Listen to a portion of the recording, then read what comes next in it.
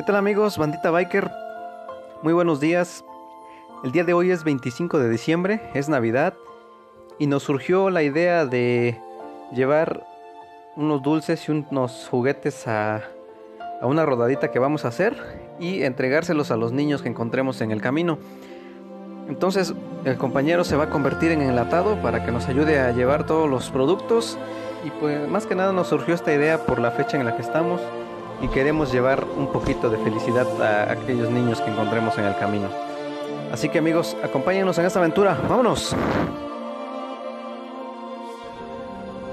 Pues ya estamos en ruta amigos.